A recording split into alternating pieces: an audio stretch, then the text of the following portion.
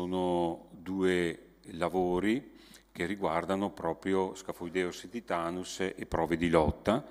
Non solo, ma parleremo anche di contenimento del ragnetto giallo della vite attraverso la pratica delle emissioni di fitoseidi, poi passeremo a parlare di tignoletta con una proposta di monitoraggio partecipativo, passeremo poi all'uva da tavola con la problematica dei tripidi, vedremo dalla prove di lotta ed infine una cocciniglia importante che si sta diffondendo in diverse aree viticole, Pseudococcus comstocchi con prove di lotta. Ecco qua il primo lavoro, efficacia di piretro, abbiamo parlato prima di piretro e vediamo mh, mm, alcune diciamo, eh, attività sperimentali che si sono state sviluppate proprio per verificare l'efficacia di piretro su diversi stadi larvali del vettore in condizioni sperimentali diverse con una singola o con una doppia applicazione. E sono state fatte, guardate, prove sia su barbatelle in vaso, in praticamente in condizioni controllate, inserendo in manicotti diversi stadi giovanili di Scafoideus titanus, trattando con piretro con una spruzzetta, nelle ore serali, controllando il pH. Guardate, dal 2016 al 2021 gli autori hanno condotto ben otto prove su, vedete, diversi stadi. Una sintesi estrema dei risultati ottenuti. I dati delle singole prove naturalmente potete eh, consultarli sugli atti delle giornate fitopatologiche. Riguarda l'efficacia del piretro. Con un solo trattamento abbiamo un'efficacia del 70% sia su neanidi di seconda e terza età che di quarta e quinta. Invece se si fanno due interventi, il secondo una settimana dal primo, l'efficacia aumenta sul 90% neanidi di seconda e terza età, 87% del quarta e quinta età.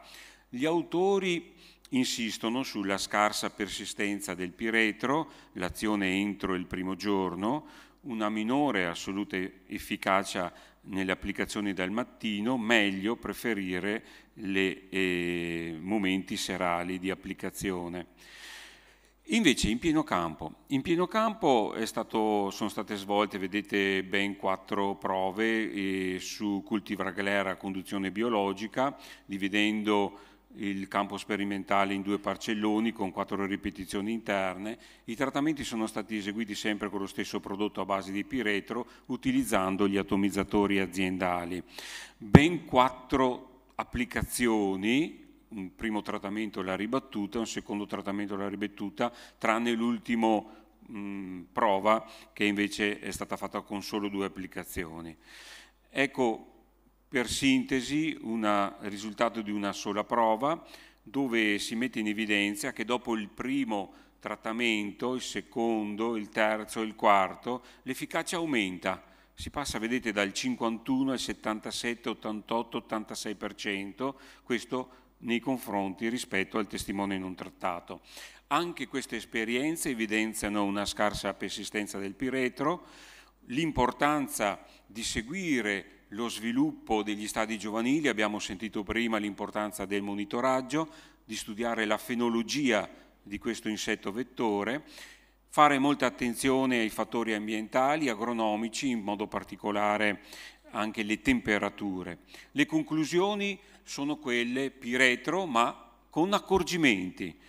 Quindi abbiamo già detto seguire lo sviluppo della cicalina in relazione all'andamento delle temperature attraverso il monitoraggio, però gestire anche la chioma prima del trattamento, preparare una soluzione leggermente acida, trattare la sera o nelle ore più fresche della giornata e poi soprattutto utilizzare volumi d'acqua e pressioni adeguati per realizzare una piena bagnatura di tutta la vegetazione, l'abbiamo sentito prima, compresi i polloni, perché abbiamo capito che gli stadi giovanili si concentrano soprattutto sui polloni, quindi anche da questo punto di vista. Una provocazione per la discussione successiva, ma quattro trattamenti ripetuti di piretro, che impatto possono avere su artropodofauna utile nell'agroecosistema vigneto? Una seconda esperienza su Scafoideus titanus è stata quella di valutare l'efficacia di azadiractina, tenendo conto che questa sostanza agisce come regolatore di crescita. E il protocollo delle prove, eh, sono state eseguite, guardate, quattro prove sperimentali, due nel 2020, due nel 2021, in questo caso con blocchi randomizzati, quattro repliche. L'epoca di intervento è stata terza età prevalente, poi ripetuto il trattamento dopo una settimana circa, con trattamenti sempre nel tardo pomeriggio, controllando il pH della soluzione. Sono stati utilizzati diversi prodotti come azadigractina, piretro, acetamipride, tofenprox, fluidifurone e i risultati quali sono stati? Diversi risultati. La prima prova nel 2020 eh, nel Pordenonese, eh, vedete efficacia come riguarda il numero di forme mobili per foglia Dopo 7, 14, 21 giorni dal primo trattamento i prodotti si sono differenziati dal testimone statisticamente con efficacia differenti uno dall'altro, comunque nella prova invece eseguita nel Modenese sempre nel 2020, anche in questo caso sono stati provati sempre Oikos, Epix, Trebon e Sivanto Prime, in questo caso con eh, efficacia eh, un po' superiore.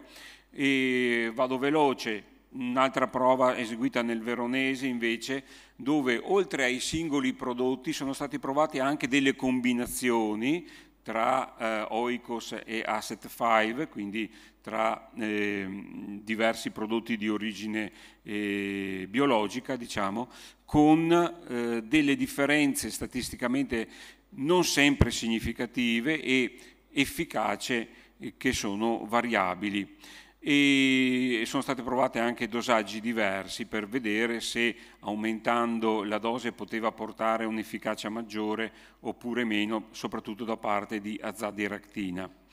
Infine abbiamo una quarta prova nel modenese, anche in questo caso con impostazione simile alla prova precedente, con risultati similari. Diciamo che possiamo concludere sicuramente così.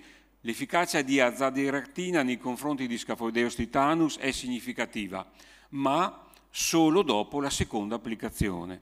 Inoltre è risultato chiaro, azadiractina ha un'azione lenta, sicuramente più lenta dell'azione abbattente di piretro e degli insetticidi di sintesi.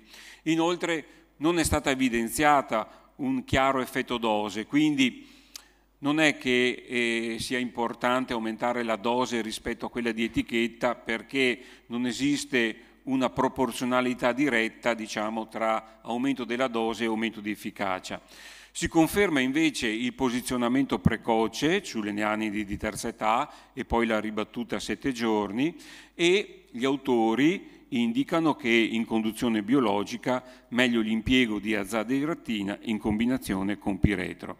Anche qui possiamo farci una domanda, ma la tolleranza zero per Scafoideus titanus è un obiettivo realistico in bio? Bene, però guardate, la lotta obbligatoria a Scafoideus titanus può portare anche a delle problematiche, soprattutto quando si usano degli insetticidi che hanno degli effetti collaterali importanti nei confronti della acarofauna nel, nel vigneto. Infatti in molte aree viticole sono sorti dei problemi legati ai ragnetti, in modo particolare al ragnetto giallo. In questo lavoro si è adottato il metodo di emissione o rilascio di fitoseidi per contenere le pullulazioni dell'acaro giallo, coinvolgendo direttamente i viticoltori di un intero territorio. Ma cosa consiste la tecnica del rilascio aumentativo? Sono stati prelevati dei tralci di due o più anni che ospitano le femmine svernanti di fitoseide da un vigneto donatore. Queste fascinette di tralci sono stati trasferiti nella prima decade di febbraio in vigneti accettori e questi tralci sono stati legati ai capofrutto già potati. Perché questo? Perché in primavera, con l'aumento delle temperature, le femmine fecondate escono dalla diapausa invernale e colonizzano direttamente la nuova vegetazione. L'esperienza è stata triennale dal 2019 al 2021 nella zona del Val, della Val d'Adige veronese. In tre vigneti sono stati distribuiti tre talci per vite, pari a 10 nodi per vite, mentre in un quarto vigneto sono state testate dosi progressive di rilascio, 4, 6, scusate, 6, 4, 2 tralci per vite e la parcella con, senza l'emissione. Cosa è stato immesso? Le popolazioni di fitoseidi immesse erano popolazioni pure di Campimodromus aberrans, una delle specie più importanti nel vigneto, con una densità di popolazione sui tralci diversificata perché nel 2019-21 0,3 femmine per nodo, nel 2020 il più del doppio 0,7. I risultati. I risultati sono stati particolarmente interessanti perché, guardate, con le linee eh, verdi abbiamo l'andamento delle popolazioni di fitoseidi, linea continua nella parcella immessa linea tratteggiata nella parcella senza emissione. Invece in giallo abbiamo l'andamento delle popolazioni di ragneto giallo. Risulta evidente, anche statisticamente significativi sono i dati, che la densità di popolazione dei fitoseidi nel vigneto dove è stata fatta l'emissione è decisamente più importante, così come è stato decisamente importante la capacità di controllo da parte di questi fitoseidi sul ragnetto giallo. Sono state fatte anche tutta una serie di indagini sulle identificazioni delle specie di fitoseidi e come vedete in questi istogrammi, nelle parcelle immesse per tutti i tre, i tre anni, la specie assolutamente predominante è proprio Campimodromus aberrans, quella immessa, mentre nelle parcelle non immesse abbiamo popolazioni mista, oltre a aberrans abbiamo anche Iseus finlandicus, Ambliseus andersonis e Paraseus talbi. E poi, e con dosi progressive di rilascio, come è andata a finire la storia? La storia è stata particolarmente interessante perché guardate il ragneto giallo, la presenza è proporzionale, proporzionale al rilascio di fitoseidi, con delle differenze statisticamente significative. Quindi, con l'emissione di fitoseidi, l'efficacia del contenimento è stata proprio proporzionale al numero di tralci introdotti. Possiamo concludere che l'introduzione dell'acarofitoseide predatore Campimodromus aberrans ha avuto successo con il rilascio il contenimento naturale è stato efficace, mentre nelle parcelle senza emissione lo sviluppo di ragneto giallo ha provocato sintomi fogliari tanto da compromettere l'attività fotosintetica in alcuni vigneti. L'efficacia del, del contenimento è risultata anche proporzionale alla densità dei rilasci, quindi Campimodromus averra si conferma, è una delle specie un ottimo candidato per i rilasci in quanto specie competitiva nei confronti delle altre specie di fitoseidi e in grado di colonizzare rapidamente i vigneti. E poi c'è stato anche un aspetto positivo che è stato quello di coinvolgere eh, i viticoltori di un intero distretto nella pratica dell'emissione, quindi a per loro è stata fatta un'esperienza diretta della potenzialità di questo metodo di controllo biologico. E anche qui una provocazione per la prossima discussione. Ma che fine fanno questi fitoseidi una volta immessi nei vigneti a seguito di trattamenti insetticidi previsti sempre dalla famosa lotta obbligatoria a Scafoideus titanus? Ecco qua. E adesso cambiamo, cambiamo argomento perché parliamo di tignoletta della vite. In questo caso Baldacchino ed altri autori parlano di un monitoraggio partecipativo attraverso il sistema Citizen Science. Infatti gli obiettivi quello, era quello di indagare attraverso un questionario sulle strategie di difesa adottate per la tignoletta in Basilicata e mettere a punto una piattaforma WebGIS per la condivisione dei dati georeferenziati. L'indagine condotta nel 2021 ha interessato un numero, direi, piuttosto contenuto di aziende, otto aziende tra privati e associazioni, dove è stato fornito questo uh, questionario e poi è stata realizzata questa piattaforma uh, per il monitoraggio partecipativo alla tignoletta della vite. Diciamo, L'indagine ha messo in evidenza che i vigneti interessati, circa il 50%, fanno una difesa integrata obbligatoria, un 25% integrata volontaria, 25% bio. che i prodotti impiegati nella lotta alla tignoletta sono prodotti chimici, spesso anche integrati con l'applicazione della tecnica della confusione sessuale, oppure in certi casi anche con insetticidi di origine biologica. Qui si evidenzia anche una certa evoluzione perché con la perdita di esteri fosforici che avevano appunto un'azione più ampia, ampio spettro d'azione, eh, bisogna un attimo ritararsi con questa cosa. E per quanto riguarda la decisione sul posizionamento, i timing di queste applicazioni, l'esperienza personale è importante così come l'indicazione dei tecnici, quasi tu, tutte diciamo, le aziende che sono state interessate da questa indagine hanno invece usato le trappole sessuali per il monitoraggio dei voli, altre hanno fatto anche uso del campionamento sulle uova, sui grappoli, e mentre le singole aziende non hanno utilizzato i modelli previsionali, ma invece ho saputo che i modelli previsionali sono stati utilizzati per chi poi ha redatto i bollettini tecnici di difesa nell'area. Quindi possiamo dire ottima questa idea della condivisione dei dati, però possiamo dire anche che i momenti di applicazione non si possono basare solo sul, appunto, sul monitoraggio dei voli, perché in certi anni, per esempio, le, le precipitazioni eh, portano a sfasare il trattamento rispetto ai voli anche di 5-6 giorni, quindi i modelli restano sempre un eh, metodo importante da integrare, ma soprattutto sono i campionamenti in campo che sono determinanti per andare a vedere in parcelle non trattate, non confuse, qual è l'ovidiposizione, lo sviluppo embrionale e la nascita delle larve. Quindi, ma non si potrebbe pensare di integrare e condividere i dati del monitoraggio sui voli con anche i dati delle altre osservazioni in campo, sempre utilizzando il principio della citizen science.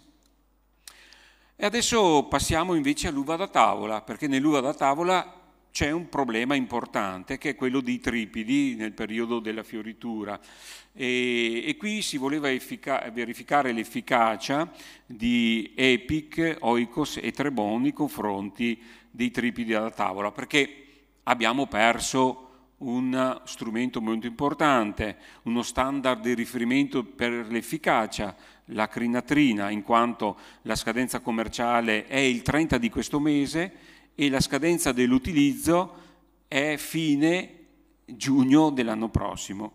Quindi dobbiamo diciamo, prepararsi per sostituire questa sostanza attiva. Sono state fatte quattro prove, tre nel 2020, una nel 2021, sempre vite da tavola levata a tendone, con diverse sostanze.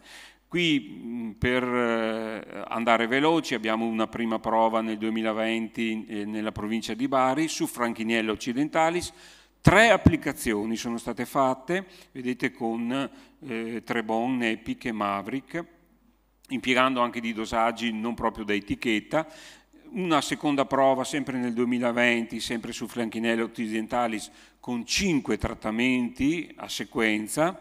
I risultati sono stati comunque sempre efficaci, tutti i prodotti hanno mh, avuto una eh, efficacia sicuramente significativa rispetto al testimone non trattato.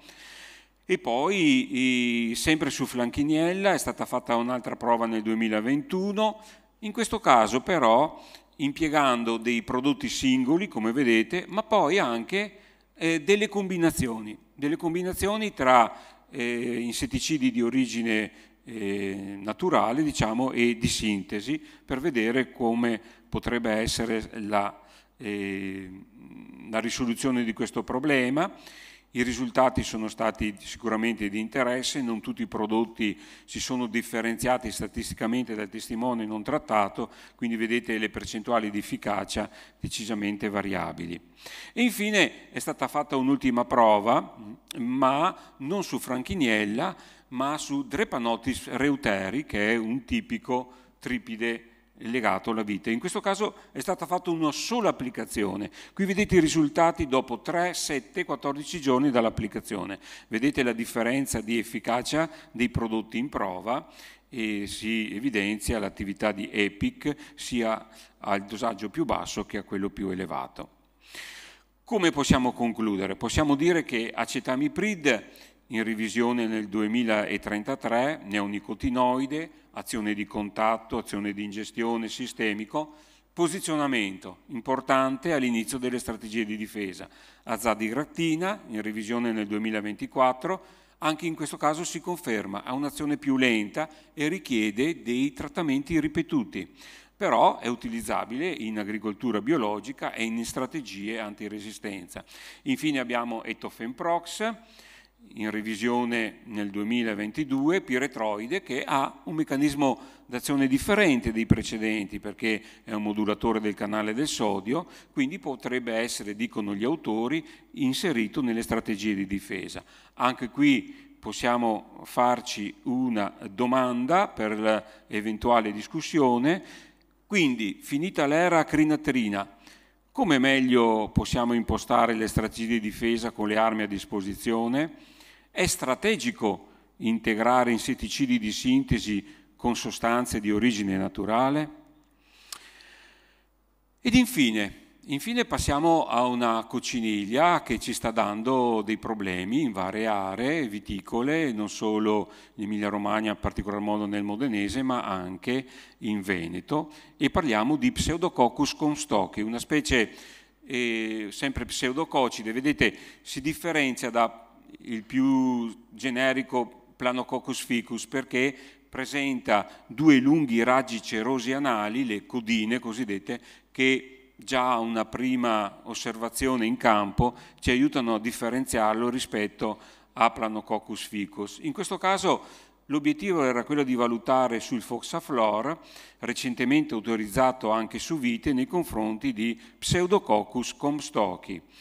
Qui sono stati provati in quattro prove nel triennio 2019-21 diverse sostanze come vedete e il timing di applicazione è stata la migrazione delle nanidi di seconda generazione. Una prima prova eseguita nel 2019 nel Reggiano, avete visto, vedete che alcuni prodotti si differenziano dal testimone, altri meno, nella seconda prova eh, dei, comunque dei interessanti risultati dove, ecco questo volevo evidenziare, eh, closer associato a degli adiuvanti non danno dei risultati di efficacia superiore, ecco perché uno degli eh, obiettivi era anche questa. Una terza prova, vedete dove si era visto in questo caso il numero di individui per grappoli perché su foglia la percentuale è stata più contenuta. Se volete andare a vedere percentuali eh, di efficacia su foglie, grappoli, eccetera, li, prese, li trovate nel, naturalmente negli atti delle giornate fitopatologiche. Invece nella quarta prova il Pseudococcus comstocchi era la specie predominante, però ce n'era anche un'altra, il Pseudococcus calciolarie, che eh, in certi casi può essere ancora presente. Concludiamo dicendo che un'unica applicazione di Closer nel momento della migrazione negli anni di seconda generazione ha dato risultati di efficacia equivalenti e talora superiori ai prodotti di riferimento. L'aggiunta degli adiuvanti non ne ha sempre invece incrementato l'efficacia. Qui bisogna evidenziare una problematica perché, come sapete, per sulfoxaflor è richiesto un adeguamento di etichetta per l'impiego in pieno campo, cioè la vendita è ammessa fino al 19 eh, novembre del 2022 e l'impiego in pieno campo è ammesso fino al 19 maggio del 2023. Forse possiamo anche trovare qualcuno in sala che ci può aiutare nella discussione. Che prospettive ci sono per la riammissione di una sostanza appena inserita per eh, la difesa della vite? Concludiamo rapidamente. Molti insetticidi standard di riferimento per efficacia, come avete visto, sono stati revocati, scarse sono le prospettive di nuove sostanze attive disponibili, ci si mettono anche i cambiamenti climatici che influenzano i cicli biologici, che influenzano la diffusione di specie che in alcune aree della nostra penisola non c'erano, adesso stanno facendo danni importanti. Diventa perciò necessario mettere a punto strategie che tengano conto di vari aspetti, per esempio varie combinazioni di sostanze a diverso meccanismo d'azione, che tengano conto dei timing di applicazioni, che siano corretti in base alle fasi di sviluppo dei singoli fitofagi, che tengano conto di volumi d'acqua, dei pH delle soluzioni, abbiamo visto in particolare per piretro. Quindi bisogna parlare di difesa ragionata che richiede sempre più precisi monitoraggi che siano puntuali sui singoli fitofagi per i territori omogenei. Infine, possiamo dire che la condivisione di dati sulle fasi di sviluppo di insetti chiavi attraverso piattaforme informatiche ci può sicuramente aiutare per una difesa consapevole nel corso della stagione.